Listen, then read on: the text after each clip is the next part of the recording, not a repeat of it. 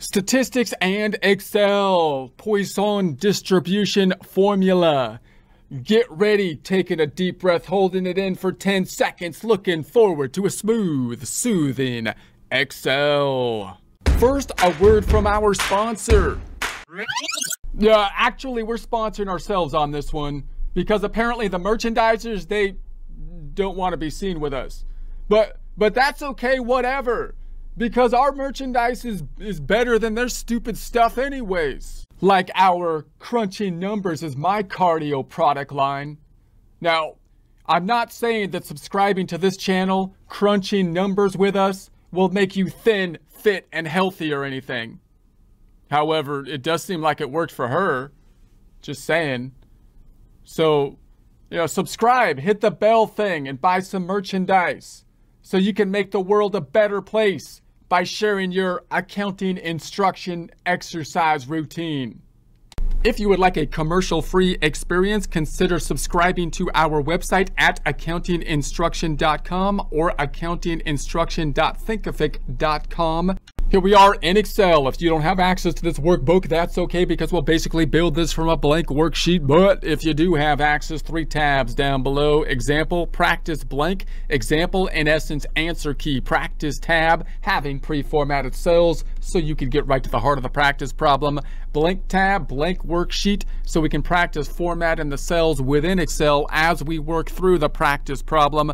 Let's look at the example tab to get an idea of where we will be going. We've been thinking about different families of curves that might be useful in different situations to help give predictive power. Last time talking about a uniform distribution, which is a very uh, easy formula and curve to look at. We have the straight line. This time, a little bit more complex curve, the Poisson distribution. So we'll start off just listing the uh, conditions in which a Poisson distribution may be useful. We'll make the formula, which can look intimidating, but we just want to give the formula and, and then note that in practice, it might be useful just to know the conditions where the Poisson distribution would be useful and then apply the Poisson distribution possibly with an Excel function such as poisson.dist.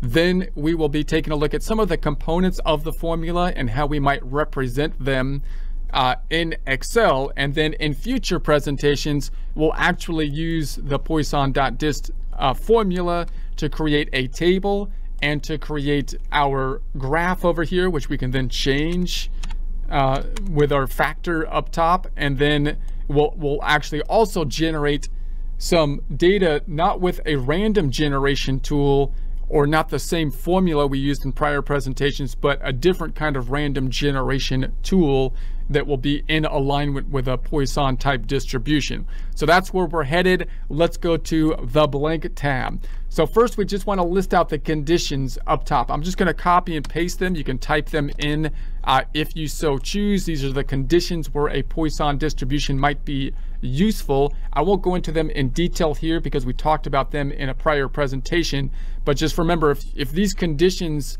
are met, then you're thinking, okay, maybe the Poisson distribution can give us predictive power about a certain data set, right? So an event can occur any number of times during a time period. Events occur independently. The rate of occurrence, uh, of occurrence is constant. That is, the rate does not change based on time. The probability of an event occurring is proportional to the length of the time period. All right, let's actually build the formula now. I'm gonna use our, our tool to do that, insert, and we're gonna go into our uh, equation. And then here's our equation. I'm gonna do an ink equation and just type it into our ink equation again. So I've got the writer tool down here. I'm just gonna say this is gonna be P of X, boom, and then I'll put brackets around it. So P of X, that looks good so far, equals, and we're gonna say, then we need, I'm gonna put a lambda here, which is often used for the mean here. So I'm gonna say lambda, and then to the X, and then times E, which we'll talk more about in a second, E to negative lambda. See if I can, well, that's, a, well, it still picked it up. Look at that. And then I'm going to put that over x and then factorial, which is an exclamation. So this looks like more of an intimidating type of formula here, but we just want to get an idea of the formula. And of course, we'll be using functions as well. So let's just take a look at it. P of x equals then lambda to the x times e to the negative lambda over x factorial. Now, the lambda is basically going to be uh, the mean, which we've represented in the past with a mu, which looks like a u in essence, uh, so or an x bar. So you could possibly see those uh, in the case in in place of a lambda, but the lambda is often used when we're talking about a Poisson distribution. E is a constant similar to pi, so we'll talk more about that in a second. And then the exclamation is a factorial. And we'll talk more about that in a second. So that looks good. Let's go ahead and insert it. So I'm going to pull this to the right. Let's make it a little bit larger. Home tab, font group, and let's just bring it up. I'll just say up to like 24. Okay. And then I'm going to make it a color so I can't see the grid lines in the back because I like the grid lines, but I don't want to see them in my formula. So I can go to the Home tab, Font Group, and then in the bucket drop down, let's make that like the orange. Now, I'm also going to format the entire worksheet, and then we'll talk a little bit more about some of the components of this formula to get an idea of what's going on with it. So I'm going to select the entire triangle, right-click on the selected area, format the cells, and then I'm going to say this is going to be currency, negative numbers bracketed and red, no dollar sign. I'm going to get rid of the decimals for now and then add them as needed. Okay. I'm also going to go to the Home tab font group and make the whole thing bold. So there we have it. Now let's just talk about some of these components in our formula, remembering not to be too intimidated by the formula because we will be using Excel functions. So if we can see where the Poisson distribution is applicable, then you can use the Excel functions possibly instead of you know using a formula calculation. But just to represent these in Excel, remember that or the E is a constant. So it's a constant uh, and it's and we can do a formula in Excel to get that E constant. So it's kind of like pi that it has that constant. I'm going to make this cell a little bit smaller. So the formula is going to be equals exp, and then I'll just put a, a 1 there, and there it is, and enter. Now if I add decimals, home tab, number group, adding decimals, you can see it, it basically goes on forever. So we can approximate it to however many decimals. Using Excel is great, of course, because it allows us to use you know, the actual uh, number. So then we're going to say that the factorial which is represented with an exclamation mark. So that's just, it's not like it's the exclamation and the E, it's not like those are representing, you know, other other numbers we're going to be plugging into there, right? The E is the constant, kind of like pi, and the exclamation is a factorial. So factorial. So if I said five exclamation, what does that mean? We're, that would be like saying five factorial, which is like if I list out five, uh, four, three, two, one, then we just multiply these out, right? This is going to be equal 5 times 4. This is going to be equal to the result of 120 times 3. This is going to be equal to the result of 60 times 2. And this is equal to the result of 120 times 1, which of course is still 120. So 5 factorial is 120. So we can also, just so we can see those, those functions, E, if I was to put an Excel function in Excel, would be an equal sign, but I want to see the formula. So to see the formula, I want to put this uh, here and then the equal sign of exp and then a 1. That's, that's going to be the function that allows us to calculate the factorial uh, here of 2.71, so on and so forth. I mean, that it allows us to calculate the e that we did up top here. And then the factorial, there's a function for that, and that's going to be this, so I can see the function equals factorial, and I'll just close up the brackets like that. So there we have it. So if I if I did that for factorial of 5, it would be equal to factorial brackets 5, close the brackets, which gives us that 120 that we got up top. Okay, so then we've got the mean. So let's put this let's put this over here so we could see it. I'm going to make a skinny column. And I'm going to say we have the mean might be represented by a mu or or a lambda, which we have up top.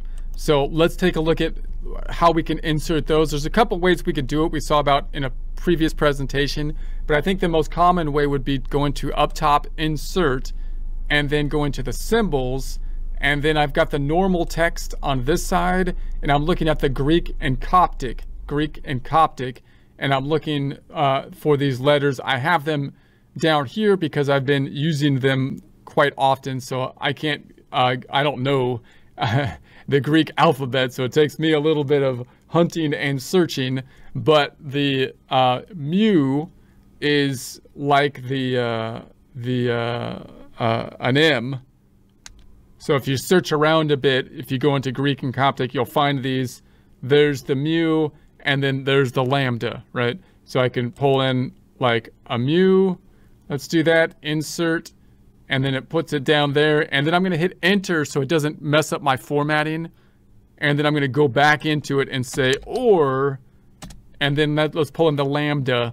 So I'm going to go into the insert up top symbols, and then the lambda is going to be next to it in the Greek and Coptic. There it is.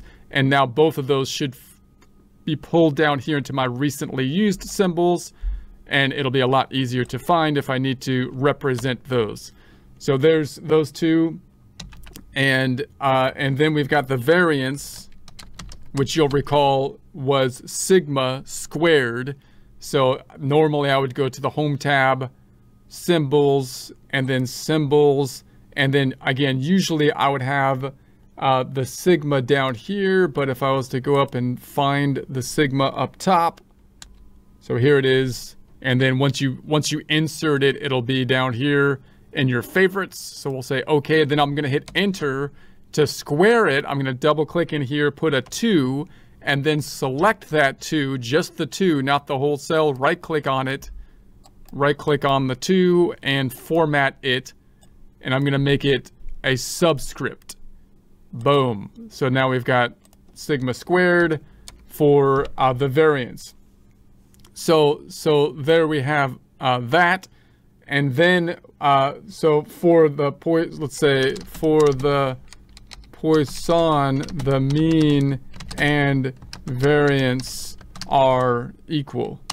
So for the Poisson distribution, then the mean and the variance are generally equal, which is could be a useful thing to know. So we can say that the mean, often represented by a mu or with the Poisson distribution a lambda, so let's enter that, insert symbols, symbol, the lambda, insert, and I'm going to say equals so it doesn't mess up when I type something else into it. Double click equals, and then the variance sigma squared. Insert symbols. The sigma is now in recently used. Insert, and then close this out. Enter. Going back into it, type in a 2, selecting it, right clicking on the selected area, and saying that we want to format it as a uh, subscript and enter. So so there we have it. Just just a couple, just some of the uh, of the information for that could be useful for the formula. Now in the following presentation, what we'll do is we'll get right into using the function, which is going to be equal to the Poisson.dist, right? And that's where we really want to go. But some of these tools could be useful when you're when you're then trying to analyze some of this stuff and you want to represent something with uh, the, the, the mean as a lambda or a mu or the variance and the sigma square and so on and so forth within Excel. So there's just some ways that we can populate that. I'm going to then highlight this and go to the Home tab, Font Group.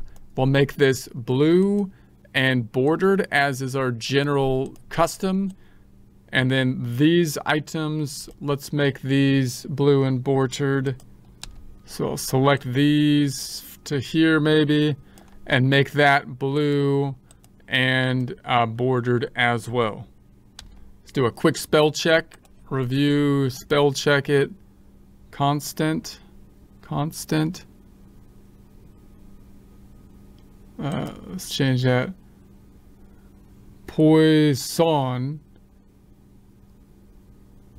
For, I don't, that's a name. I'm going to ignore it for now. Mind. I'm going to ignore for now. Variance, let's change that. And okay, so there we have it. So hopefully I spelled Poisson distribution correctly, and we'll continue on with it next time.